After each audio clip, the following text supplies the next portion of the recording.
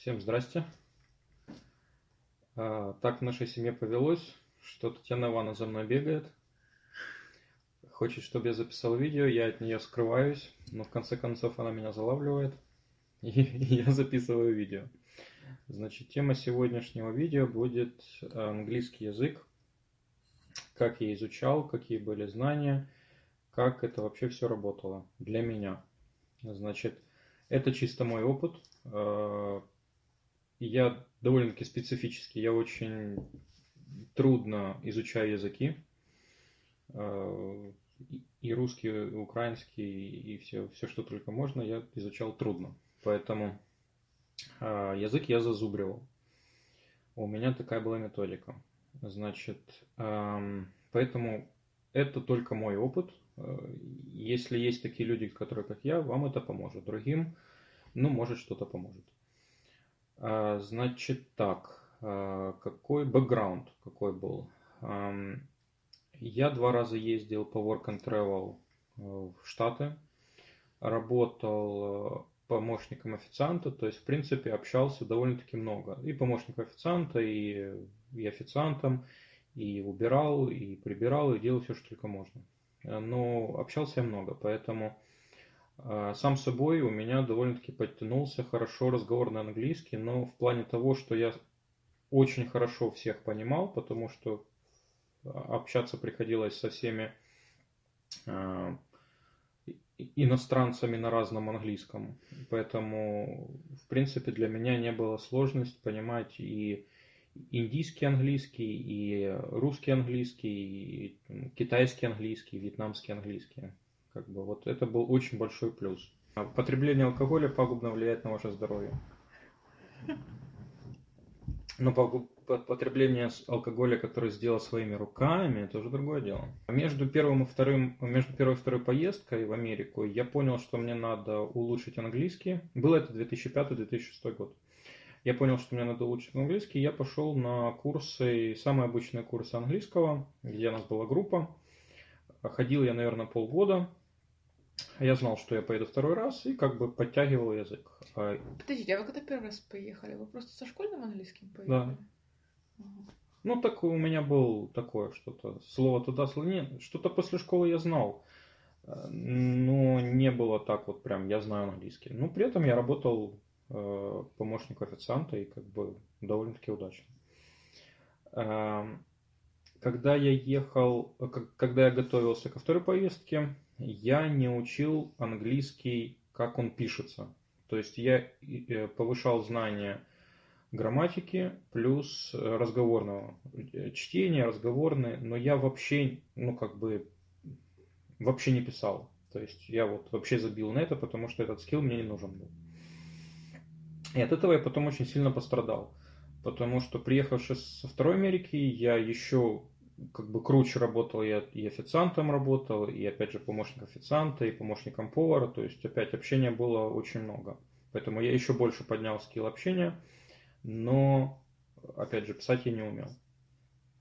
А, и тут э, началась эпопея с миграцией. Я, когда начал изучать процесс, я хотел подаваться на Австралию, на Австралии на тот момент нужно было получить 6,5 баллов. Нет, 6 баллов.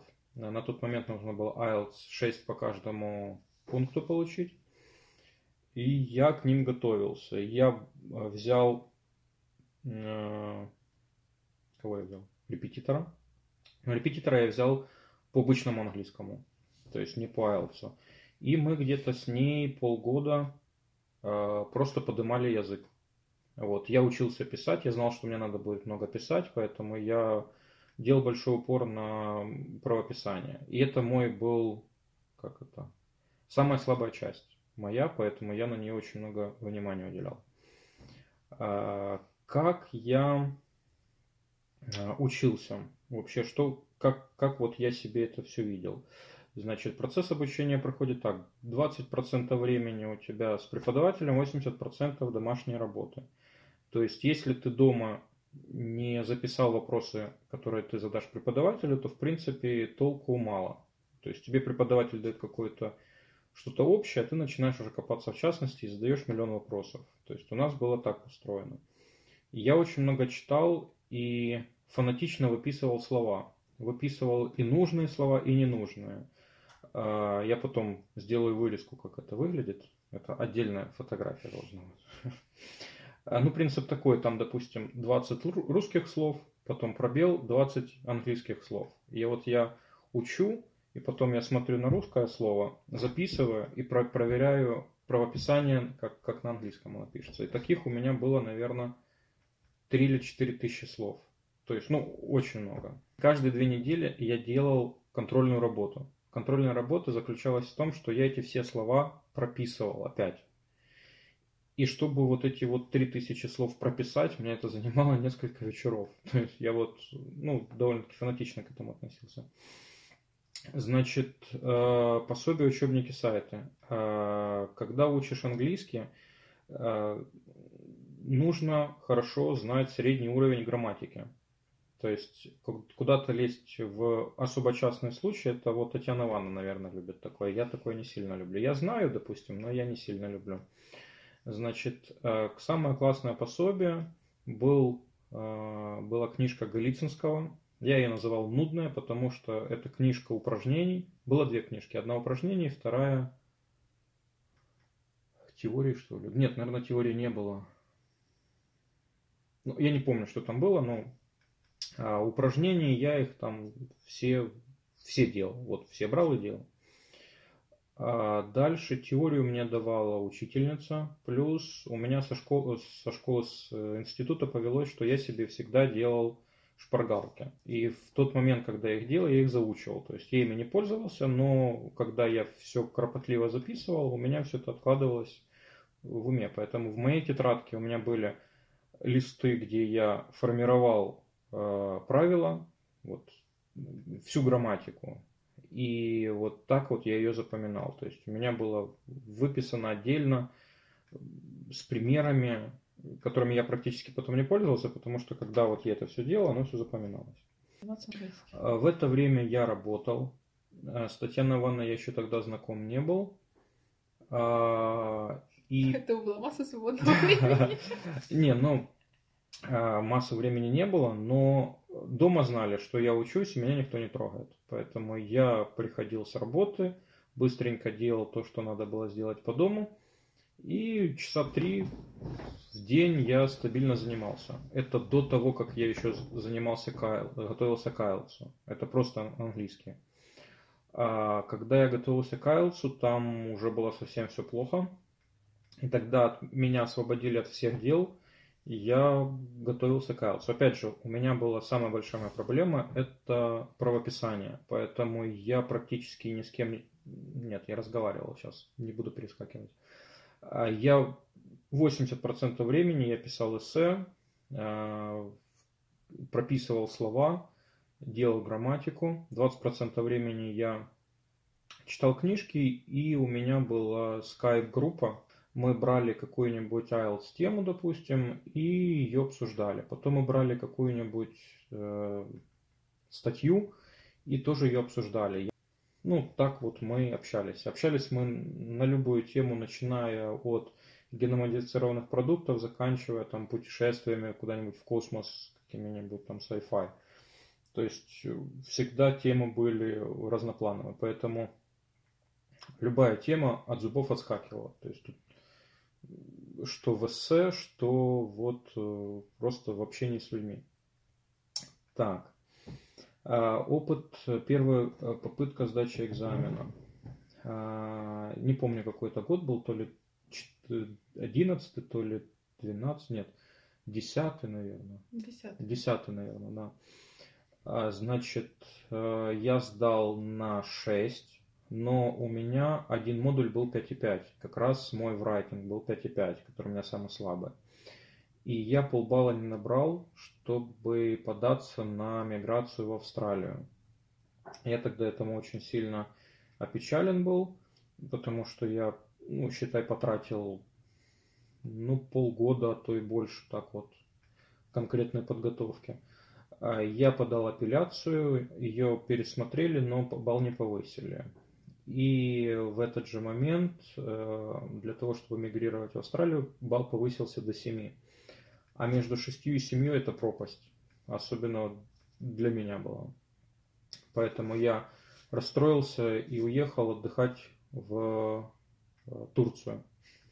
И после Турции уже познакомился с Татьяной Ивановной. То есть э, Татьяна Ивановна уже присутствовала, когда я приехал и начал готовиться к сдаче на семерку. Вы а, гуляли, наверное, месяца четыре. Ну, я, да, я погуливал, но потом опять себя взял в руки для того, чтобы опять готовиться. Тогда я, конечно, уже очень серьезно начал готовиться. Тогда уже появилась Татьяна Ивановна, которая понимала, что я готовлюсь к английскому. Ну, Татьяна, мне повезло с женой. Жена очень рано ложится спать. То есть это плюс жизни. Татьяна Ивановна ложится там в 8 вечера, я ложусь в 12 в час. То есть у меня каждый день время, которое я фанатично тратил на свое хобби, это изучение английского языка. Тогда я еще не спала в 8. Я забивалась ну, книжкой. Да, у вас там свои Тихий дела час были. Да. Мы сидели в одной комнате, и я занимался своими делами, Татьяна Ивановна своими делами. Опять же, очень важно – когда вот английский идет туго, а, понимаете, что человека надо избавить от любых трудностей. То есть вот мне, спасибо маме, спасибо Татьяне Ване, меня не напрягали домашними делами.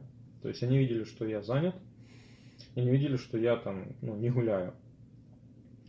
Поэтому вот это спасибо. Это очень важно, очень важно, потому что Параллельно были люди, которые вот в группах учили язык, у них по двое детей, и я прекрасно понимаю, как это все для них было тяжело. У меня в этом плане было легче. Значит, я нашел в Днепре учителя уже конкретного IELTS. Э, этот учитель был раньше экзаменатором IELTS, и она была, и она такая очень э, человек с таким довольно-таки сложным характером, но мы нашли общий язык, поэтому меня, как это, если я что-то делал неправильно, мне об этом говорили очень довольно-таки в грубой форме. Но если я что-то делал правильно, это тоже было в довольно-таки положительно, положительной форме. Поэтому у нас была такая батл такой постоянно был. И я оттуда выходил просто красный. Вот оттуда я прям... Но она, конечно, она меня очень хорошо учила. И это мне довольно-таки помогло. Значит, где-то я с ней занимался месяца четыре. Потом я понял, что я достиг того уровня, что мне нужно, можно самому заниматься. То есть я, в принципе, понял, как все работает. А вопрос был, э, если с ней идти дальше, это вот у меня наступил момент, когда я понял, что если я не нахожусь в англоговорящей среде, то э, любой, любой преподаватель, он мне ничего не сможет дать. То есть вот у меня был какой-то ступор, когда в меня вливают теорию, а у меня выхода этого всего нету. То есть э, мне надо было разговориться вот уже прям в англоговорящей среде. Но этого не было. Я понял, что я плачу деньги как бы в никуда, я не расту, и, в принципе, дальше просто нужно наработать, там, увеличить словарный запас и просто прорешивать э, этот долбанный авец. Значит, э, вторая попытка. Я шел на семерке, и я ее провалил. Я сдал все на 6,5, и, по-моему, опять же, в райтинг сдал на 6. Э, я не помню, что там было, но в райтинге у меня какая-то была сумасшедшая тема. То есть, которая я просто вот я такой сел, и, блин, я к этому был не готов. Ну, как-то, да. В общем, я тогда, конечно, очень сильно расстроился, потому что я, опять же, потратил много времени, много усилий. А, ну, я конкретно провалил экзамен. То есть я спокойно сдавал на 7-7,5 а, все пункты. И вот на экзамене я провалился. Я тогда опять очень сильно расстроился, но буквально там через месяц э, пошла Манитоба, где нужен был экзамен 5. Поэтому я очень даже спокойно со своими 6,5 прошел. Сдал я экзамен, пошла Канада. Это все длилось практически два года. Э, что я делал? Я фанатично язык не изучал, я практически перестал все прописывать. Ну, бывало, бывало, но это перестало быть вот постоянным хобби. Но я продолжал много читать, я продолжал много слушать аудиокниги, аудио, аудиокниг, и, в принципе, я продолжал учить слова, как я их учил раньше. То есть новые. Вот я читаю книжку, что-то новое. А, потом я дошел до какой-то стадии, когда я понял, что много слов, которые я не употребляю. То есть я их просто вычеркнул. Или там слова-синонимы, которые, ну, как бы, мне особо не нужны были. И я, в принципе, просто повторял то, что у меня было. То есть у меня был конспект грамматики, который сделан под меня не так, как вот сухим языком книжки, а вот так, как я его понимаю, так, как мне нужно объяснить. Потому что это очень важно своим языком объяснить себе что-то. И потом, когда ты там, через сколько-то лет смотришь на то, что ты сам себе разъяснял, ты это гораздо проще поймешь, чем будешь смотреть книжку и вообще не понимать, что происходит. Поэтому это у меня все осталось. И я просто параллельно как бы нет, пытался это не забыть. Люди на этой стадии забывают, что надо продолжать учить язык. Поэтому даже сдавший английский проходит год, полтора, два, и через два года они понимают, что ой-ой-ой, я что-то я уже и слова не, не помню, и что-то как-то все плохо. Поэтому а, сданный экзамен это только там 80% дела. Надо повторять постоянно, э, готовиться. Советы, как улучшить э, понимание на слух? Ну, опять же, здесь э, у меня очень большой плюс был э, английский, то есть э, поездки в Америку. Я общался с со, с таким большим количеством людей, что просто вот через время, через месяц у меня как бы мне стало все равно. То есть, если человек не мямлит, не теряет половину буквы или еще что-то там, интонация какая-то стрёмная у него, то я его понимаю. Но до этого времени у меня проблема с пониманием песен. Вот это просто удивительно, как я их плохо могу понять. Особенно если э, песня там рэпчик какой-нибудь или быстрая. Ну, даже если средние обороты скорости, я вот что-то у меня это тяжело идет. Но это моя тема. Не самый важный навык в жизни. Да, не самый важный. Значит, э, что? Э, сходите на спикинг-клабы. Обязательно, чтобы присутствовал англоговорящие. То, что вы будете слушать наших, как бы вам вообще ничего не даст. И по-хорошему, то, что вы будете слушать наших учителей, есть учителя, которые пытаются подражать, но все равно это не то. Э, желательно ходить и ходить к таким, которых вообще ни хрена нельзя понять, каким-нибудь таким бритом жестким, который, у которых такая речь очень странная. Тогда ты просто развиваешь навык, как понять речь. То есть ты вот в голове начинаешь прокручивать, а что вот он сказал, как. То есть вот это вот такой вот навык.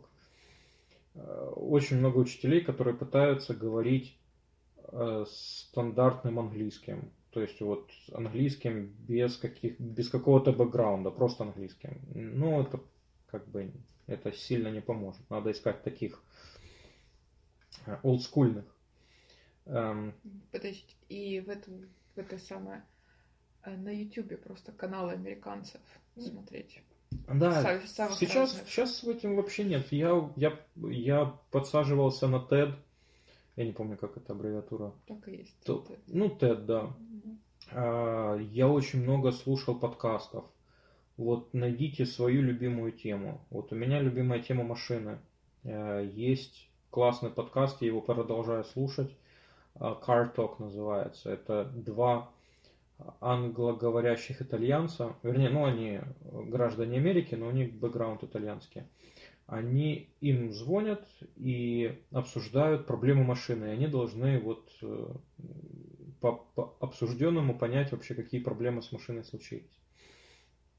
И опять же, вот к ним звонят постоянно разные люди. Э, а в Штатах северяне от южан отличаются кардинально язык. Поэтому вот ты слушаешь, как к ним звонят по телефону, и ты просто слушаешь вот разные встречи. И вот как раз то, что очень много разных людей, вот нужно слушать много разных людей. Потом я подсаживался на экономические всякие темы, но там как бы сложные, слова сложные, но зато интересно.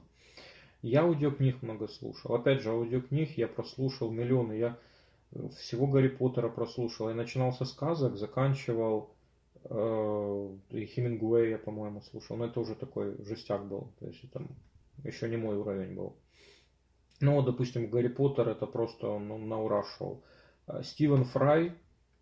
Э, есть несколько э, таких грандиозных личностей в англоговорящей культуре. Вот один это Джереми Кларксон, который в Топ-Гире. Он журналист, публицист и очень крутой чувак. А, Стивен Фрай.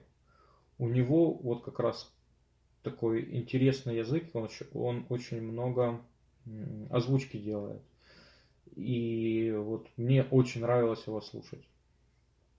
И дальше просто вот у тебя есть свободное время, ты этим занимаешься. Ты слушаешь, ты стараешься заменить все, что у тебя было на русском языке, заменить на то, что, на, на, на то чтобы все было на английском языке.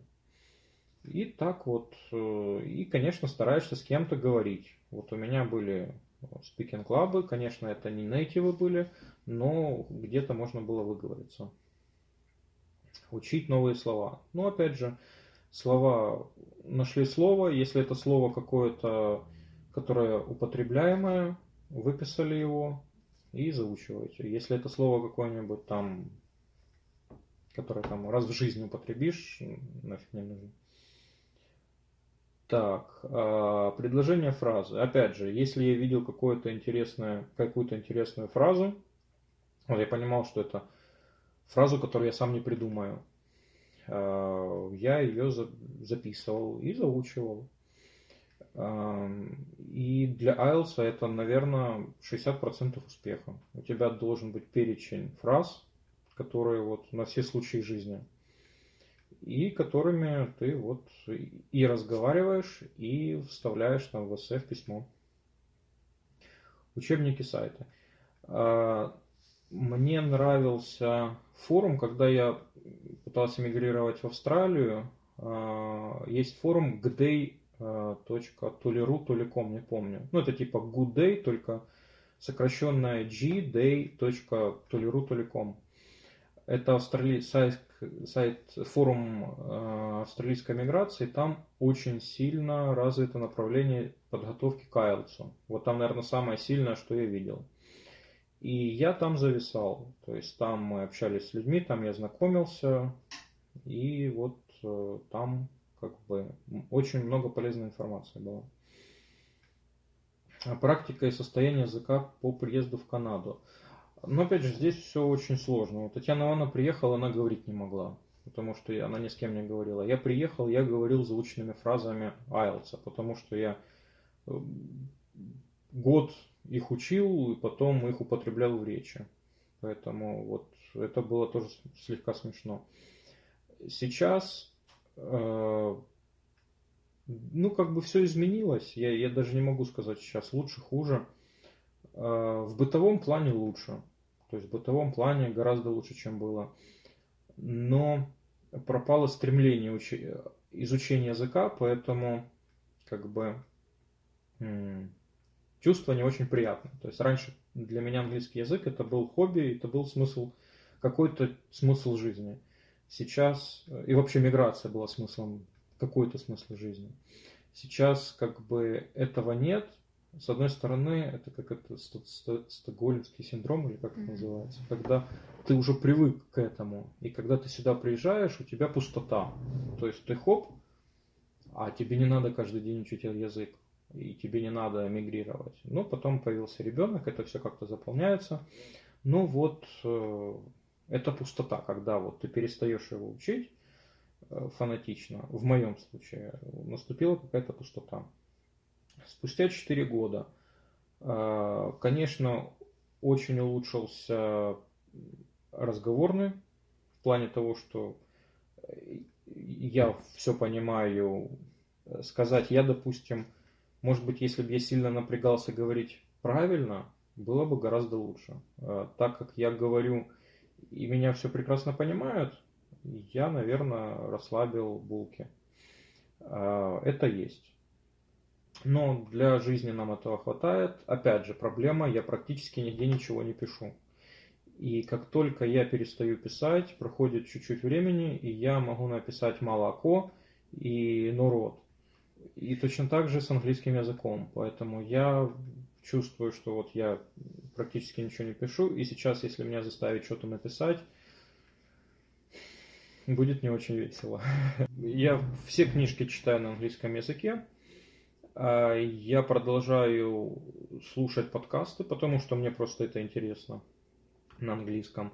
Я хожу в книжный клуб, вернее как, он приходит к нам. Ну, мы мигрируем от дома к дому э, с канадцами, где мы обсуждаем интересные темы. Э, поэтому, в принципе, дело идет, мы учимся, мы э, улучшаем понимание языка. То есть, если раньше я перехожу на стадию, когда я не могу объяснить, почему это правильно, но я понимаю, что это правильно. Если раньше я заучивал, и заучая я знал, что это правильно. Теперь я, допустим, могу понять, что это правильно, но я не объясню почему. То есть какая-то пошла новый этап. Надеюсь, что это видео было всем полезно. Э, по крайней мере, я вспомнил, как это было, и я понял, что, слава богу, это закончилось. Изучение языка. А если будут вопросы, задавайте, будут комментарии тоже оставляйте. Вот такие, вот, вот это вот мы любим. Всем спасибо, до свидания. И спасибо за внимание.